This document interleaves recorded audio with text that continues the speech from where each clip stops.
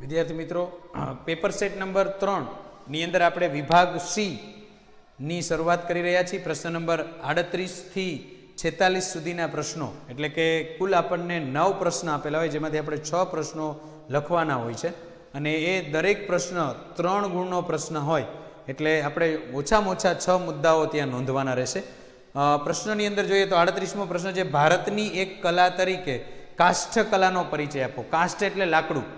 અહીંયા પહેલાં કાષ્ઠ શબ્દને સમજવું પડશે ને, પછી એનો જવાબ લખવાનો. તો કે કાસ્ટ એટલે શું? તો કે કાસ્ટ એટલે લાકડું. અને એના ઉપર થતી કોતરણી કલા, એને કાષ્ઠ કલા કહેવાય. આપેલું ચિત્ર તમને સીધું જ બતાવે છે કે ભાઈ કાસ્ટ કલા કેવી હોય? કાસ્ટ કલા એટલે કે લાકડા ઉપર કેવી રીતે કામ થતું હોય છે? તો અહીંયા આપેલો એક દરવાજો અને એના ઉપર થયેલી કલાત્મકતા. બરાબર? અલગ અલગ મૂર્તિઓ છે, દેવદેવીઓની મૂર્તિ છે. અને કળશ છે અને બારીક કોતરણી દ્વારા લાકડા પર કોતરણી કરેલી છે. આ કાષ્ઠ કલાનો ઉત્તમ નમૂનો છે કે જે લાકડા પર થતી કલા છે. આદિ અનાદિકાળથી માણસ અને લાકડા સાથે ઘણો બધો સંબંધ છે.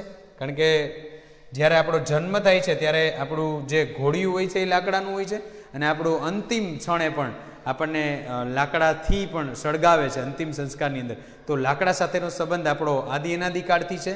અને એ સંબંધ ક્યારથી શરૂ થયો એની વાત કરીએ તો છેક, માનવ જીવનના સંબંધની સંબંધ શરૂઆતથી જ વૃક્ષ અને વનરાજી સાથે રહેલો છે. યાદ રાખજો, આપણો સંબંધ વૃક્ષ અને વનરાજી સાથે ખૂબ જૂના સમયથી છે. પહેલો ટોપિક આપણે લખીએ. અથવા તો એમ પણ લખીએ કે લાકડા પર કરવામાં આવતી કોતરણી કલાને કાષ્ટ કલા કહે છે. એક મુદ્દો એડ કરશું આપણે. ચલો. લાકડા પર થતી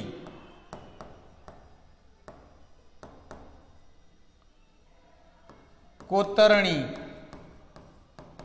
ની કલા એટલે કાષ્ઠ કલા. પેલો મુદ્દો આપણે એડ કરી દીધો. એક નવો મુદ્દો લખી દીધો ભાઈ, લાકડા ઉપર થતી કોતરણીની કલા, એને કાષ્ટ કલા કહેવાય. એટલે વૃક્ષ અને વનરાજી સાથેનો આપણો ખૂબ જૂનો સંબંધ છે. શરૂઆતમાં આપણે માત્ર લાકડાનો ઉપયોગ, શરૂઆતમાં લાકડાનો ઉપયોગ માત્ર બળતણ તરીકે થતો. સમયાંતરેનો ઉપયોગ ઓજારો બનાવવામાં, ભવનો બનાવવામાં અને મકાનોના બાંધકામમાં થતો રહ્યો છે. એટલે ધીમે ધીમે એનો ઉપયોગ વધી રહ્યો છે. ખૂબ પહેલાંની વાત વાત કરીએ તો માત્ર બળતણ તરીકે ઉપયોગ કરતા એ લાકડું આજે ધીમે ધીમે આપણે ઓઝારો, આપણા આસપાસના હથિયારો બનાવવામાં, ભવનો એટલે આપણા મકાનો બનાવવામાં. આપણને ખ્યાલ છે, પાંડવોને આપેલો જે મહેલ હતો એ લાખની, લાખના લાકડાથી બનેલો હતો, લાખથી બનેલો હતો. એટલે એ આખે આખો સળગઈ, સળગી ગયો અને એ એક ષડયંત્ર હતું. આપણે છેક પાંડવોની વાત કરી રહ્યા હોય. બરોબર? અને એ સમયના મહાભારતની વાત કરી રહ્યા હોય તો ત્યારે પણ લાકડાના ઉપયોગથી મકાનો બનતા હતા, ભવનો બનતા હતા. આ સિવાય વાત કરીએ તો ભવનો, મકાનોના બાંધકામ થતા. ક્રમશઃ લાકડાની મૂર્તિઓ, રમકડા શોખઠા થાંભલીઓ, બારીબારણા, ગોખ, અટારીઓ, સિંહાસનો, ખુરશીઓ જાળીઓ એટલે કે આપણી આસપાસની અનેક બીજી વસ્તુઓ પણ લાકડામાંથી બનવા લાગી. બારીક કોતરણી છે. આપેલું ચિત્ર જુઓ તો લાકડાની એક મૂર્તિ પણ આપણને મહાદેવની મૂર્તિ છે. જે લાકડામાંથી બનેલી છે, એ પ્રકારે આપણે બતાવી છે. તો લાકડામાંથી એ સમયની મૂર્તિઓ પણ બનતી. એટલે અહીંયાના ઉદાહરણ આપ્યા દાખલા તરીકે. મુદ્દા નંબર એક, બે, ત્રણ.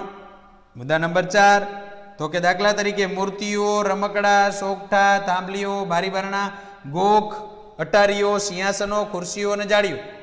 બરોબર? સોગઠા એટલે આપણે પહેલાના સમયમાં પાંડવો અને કૌરવો જે રમતા, આપણે જેને સાપસીડીમાં જે ઉપયોગ કરીએ, લૂડો. ગેમની અંદર જેમ તે પાસો છે ને એ ટાઈપના લાકડાના સોગઠા બનાવતા. પછી થાંભલીઓ કલાત્મક. બારી બારણા, ગોખ. ગોખ એટલે ગોખલા. બરાબર? ઘરની અંદર આજે પણ આપણા ગ્રામ્ય કલ્ચરમાં ગોખલો હોય છે ગણપતિ બાપાનો, એ પ્રકારના લાકડાના ગોખ બનાવતા. ઘરની બહારની બાજુ. એ સિવાય સિંહાસનો છે ખુરશીઓ છે. બરાબર? સિંહાસનો, રાજાના બેસવા માટેના આસનો. ખુરશીઓ જાળીઓ છે. વગેરે કાસ્ટમાંથી બનાવવામાં આવતા. અને કાષ્ટકલાના બીજા કેટલાક ઉદાહરણ લઈએ તો ગુજરાતમાં લાકડાના હિંચકા ગુજરાતના લાકડાના હિંચકા, સંખેડાનું ફર્નિચર અને ઈડરના રમકડા, જે કાષ્ટકલાની અંદર ફેમસ છે.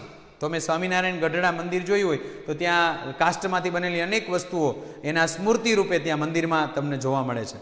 ભારતની કાષ્ટકલા વિશે આપણે છ મુદ્દાઓ લખી શકશું આરામથી. એટલે આટલા ઇનફ છે એના માટે.